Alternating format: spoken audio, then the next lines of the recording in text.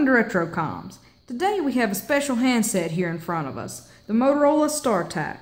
This is a device which I believe is the missing link between the MicroTAC and the flip phones of the early 2000s. Looking around the device, you'll see that it's a lot sleeker and slimmer than its MicroTAC predecessors. And compared to clamshells of the early 2000s, it has a few oddities and quirks here and there. The most notable being the fact that the battery is on the lid of the phone rather than on the back, and that the screen is here at the base of the phone. The speaker and the screen are not on the same part of the phone as in in early 2000s devices. And as you can see, there's these little terminals in the back to set it in a charging cradle.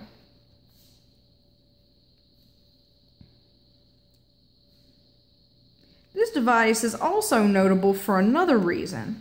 If we open it up here and look closely at the screen, down here on the bezel we can see that it is a dual band device, which means that this particular model supported analog and digital, which helped it to bring in the age of digital cellular coverage, which allowed for more data to be transmitted, but it didn't cover as wide of an area as analog.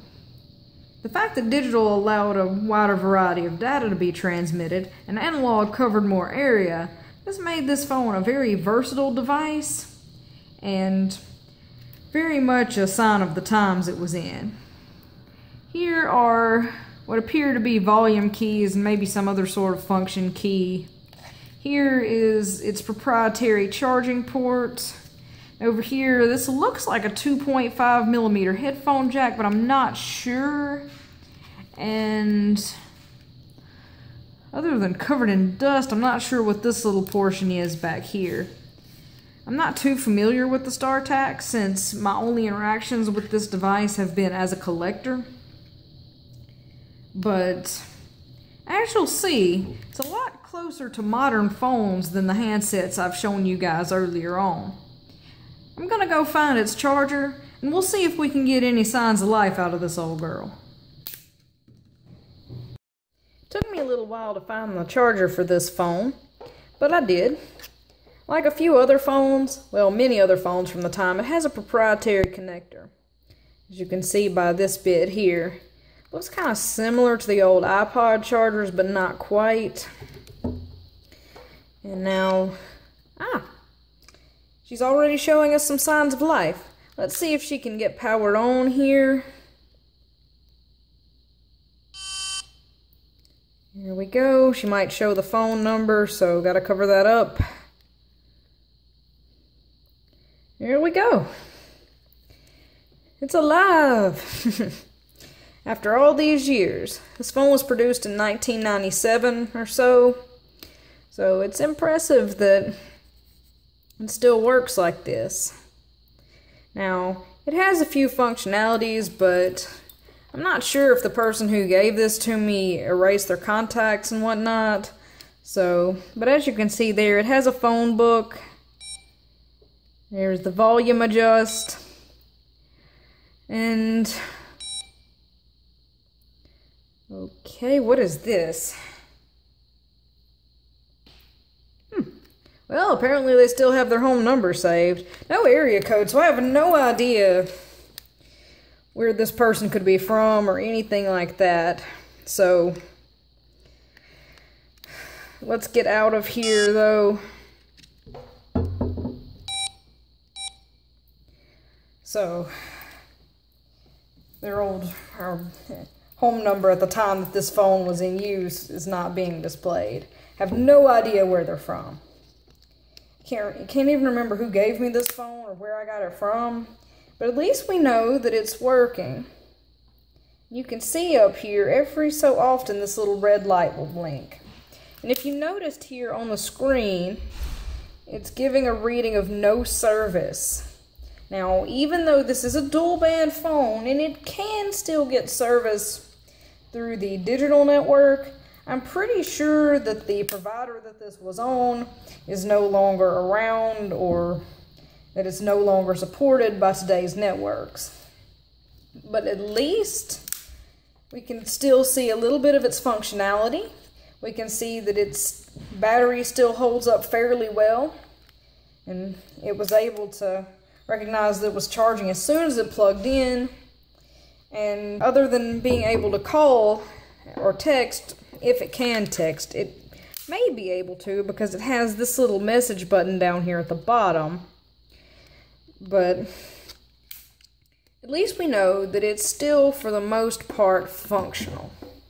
And I call that a win, especially for a phone that's 20 years old.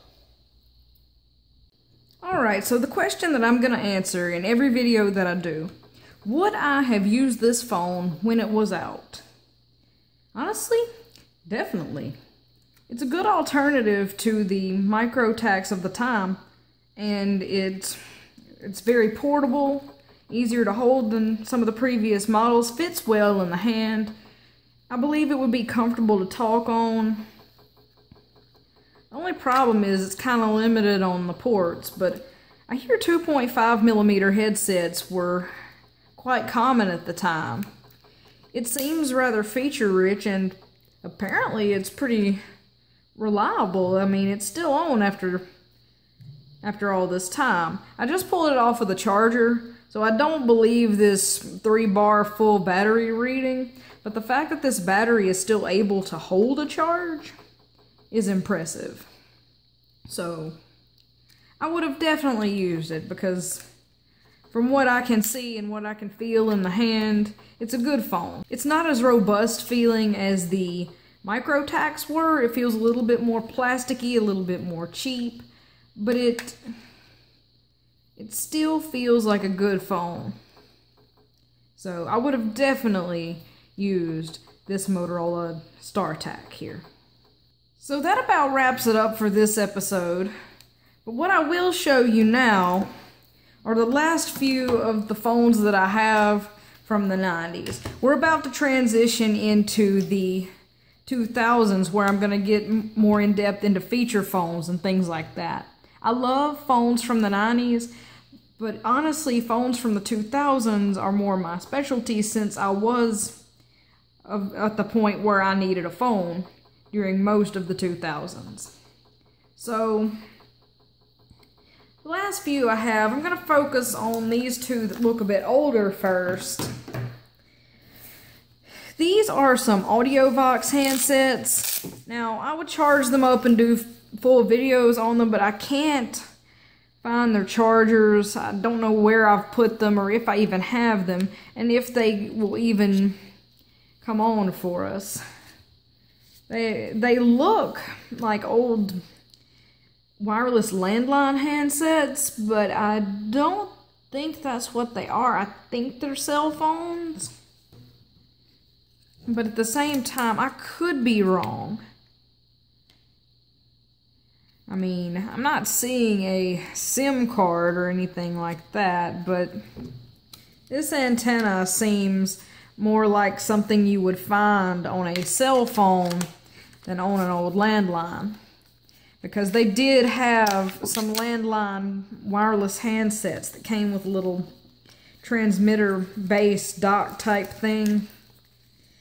And they look very similar to this, but I don't think that's what these are. They look very much like cell phones and have buttons that I believe are pretty cellular specific. Like with this function keys and things like that. I, I don't believe most landline users would have had digital handsets like this with a phone book feature programmed in. Just removing this one's battery or trying to to see if there is any sign of a SIM card or anything like that. Not sure about these though. Not even sure that they're